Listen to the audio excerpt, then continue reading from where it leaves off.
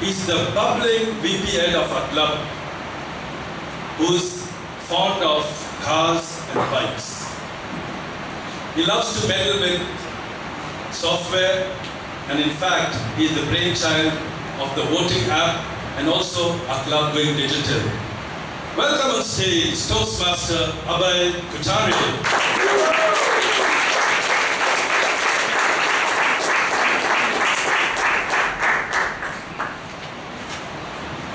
Thank you for that warm introduction, Mr. President. Namaskara. Good evening. Welcome to Bangalore Toastmasters Club. A warm and hearty welcome to all our lovely guests. Today, we have a wonderful agenda lined up for you. Tightly packed, but nonetheless wonderful. But I remember the time when I was in Germany on a cold day testing software on a car. And everything was going against me. Using the Toastmaster skills that I acquired here, I somehow convinced my clients to give me one more day to fix it all. And guess what? I did it. When I came back home, my manager patted on my back and said, Did you know why we were successful on that day? It was because of the attitude you carry. And I think this is what we learn here at Toastmasters. Change your attitude and you will certainly see a change in your future. Now I wonder about the attitude of Dr. Ralph Smedley when he started this movement. How his attitude affected many people to change their attitude. And this club, in its history of 22 years, with thousands of members coming in and going out, have benefited so much from this movement. And to tell you more about the history of our club, I'd like to invite the past VPE of our club, Toastmaster Vivek Vijayan.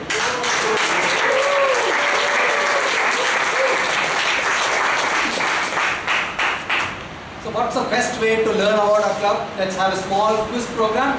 Yes. yes. All right, let me get into the first question. This is open only to non-members. non-members of this club. Other Toastmasters can attempt. Okay? First question. Which of the following is the oldest organization in the world? A. Google B. Facebook C. Flipkart D. Bangalore Toastmasters Club we, we, oh, we started way back in 1997 and three illustrious uh, founders started this club and they are still members even now.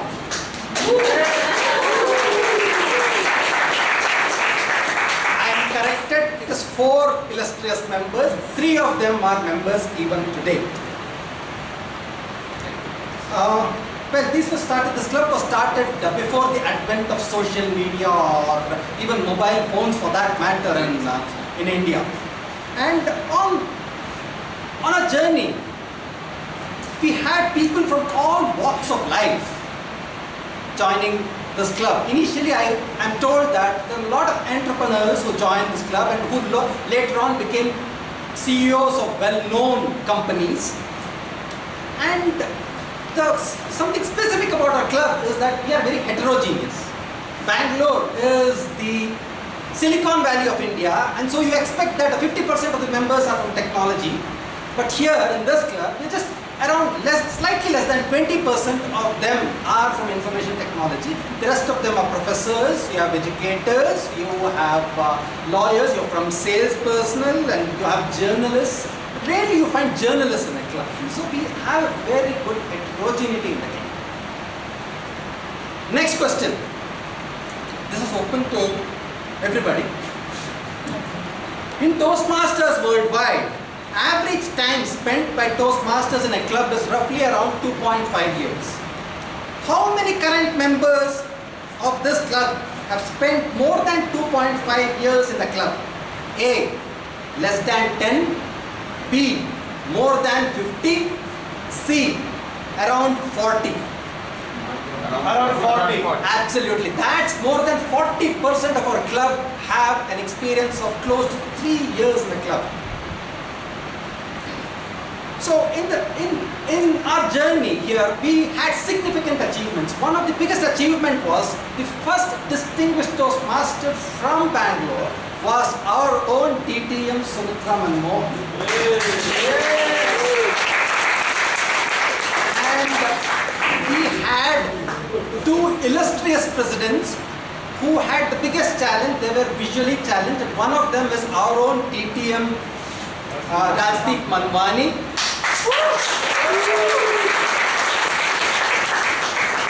On this occasion, can I just ask all the past presidents to just raise, you know, to come here, just raise for a moment? Thank you.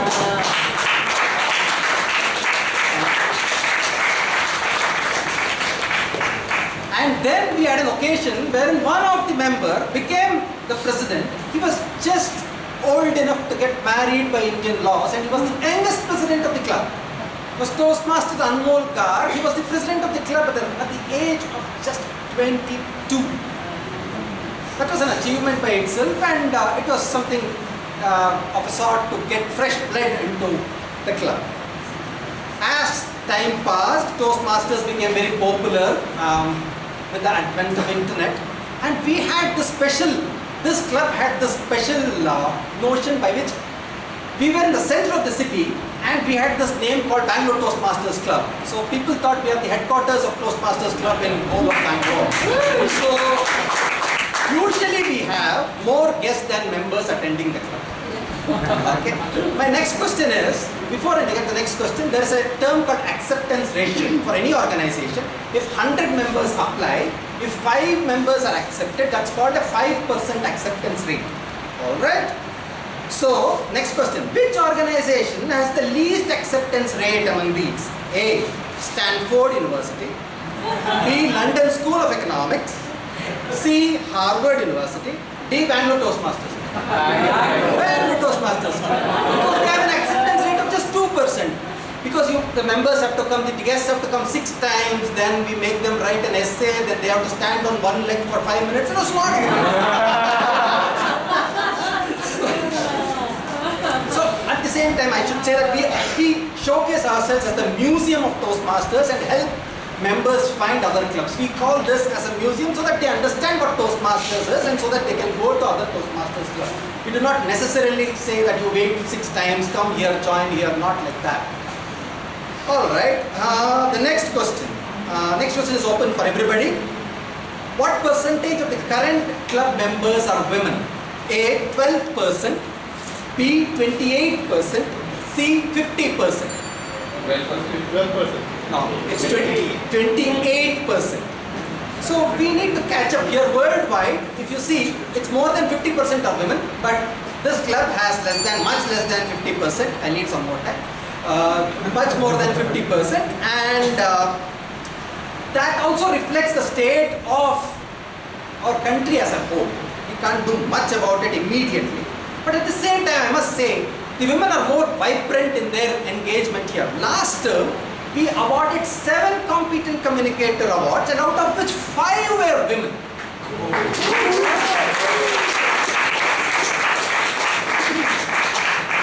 Final question. What best describes this open only to non-members? Uh, people other than our. What best describes if our club ends meetings on time? A. Always ends on time. B. Most often ends on time. C. Sometimes ends on time. D. Rarely ends on time. Rarely ends on time. we have the distinction of opening the meeting on the right time, but we rarely end on time. That is because of the mesmerizing nature of the speeches that we have. Oh. And today will be no different. today will be no different. We will exceed sometime. Thank you very much. Uh, I think I told a lot. I can tell, go on and on.